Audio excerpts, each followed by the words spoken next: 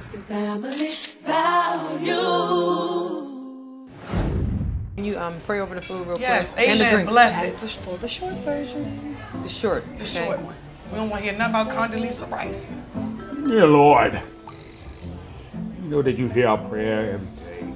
We thank you for Traci, Wanda, and Trina, and Tamar communing together around the table.